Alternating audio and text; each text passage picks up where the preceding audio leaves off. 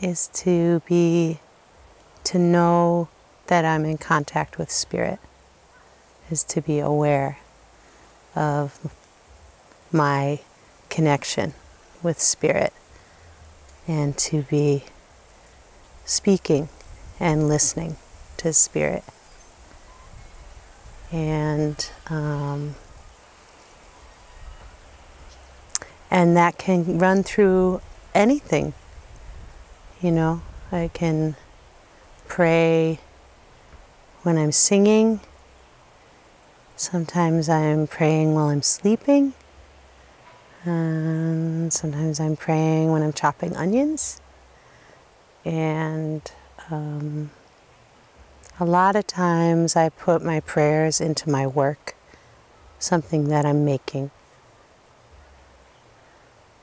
Put my intention into it and feel spirit moving through me into into it, whatever it is.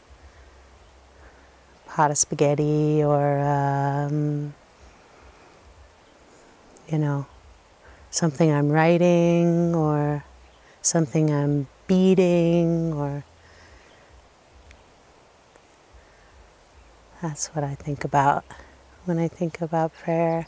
I think about prayer too, like we were talking earlier today.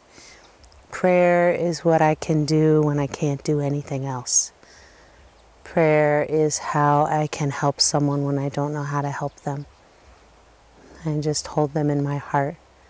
My prayer inside of me, sometimes I pray out loud in words.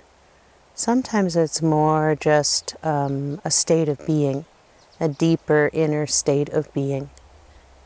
Praying for me is a lot more about listening, listening inside, than it is about me telling Spirit anything, because Spirit knows everything already.